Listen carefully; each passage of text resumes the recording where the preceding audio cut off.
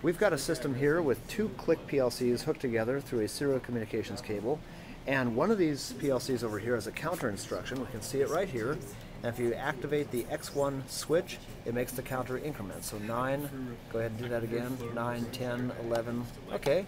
And then uh, what that counter does, we take the, uh, the current count value, the accumulated value of that counter, and we force that into a single uh, width word, so a 16-bit register, because naturally this is a double width, um, double precision. So what we're doing here is forcing it to be a 16-bit instead of a 32-bit, and that's so we can ship it over using a Modbus instruction in the other PLC.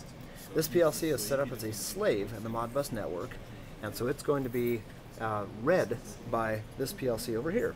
So we come over to the master PLC,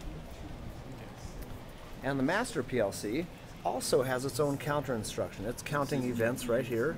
I can activate, uh, I can activate, there we go, there's the right switch. I can activate X2 on this PLC. We can see it increment up as well, 7, 8, 9, 10. And the purpose of this program is this master PLC will compare the two PLC's counters. So it's going to compare CTD2 right here with the DS1 register it's grabbing from the slave PLC using the Modbus instruction. Now something else we've got going on is not only is the master PLC reading from the slave over there using Modbus, but we're also writing a bit to reset the counter in the other PLC. If I go back to the slave, what we see is that the slave PLC in the counter instruction has a C4 bit acting as the reset. That C4 is actually being written by the master PLC through a different push button. So looking at the Modbus instructions now, we see two Modbus instructions here. One is a receive, the receive instruction said, okay, Modbus function code number three, I want to start at slave address DS1 and bring that data, as you recall, that was the count value of the counter in the other PLC. It's going to bring that value into the DS1 register right here, and that's going to be used to compare against this counter.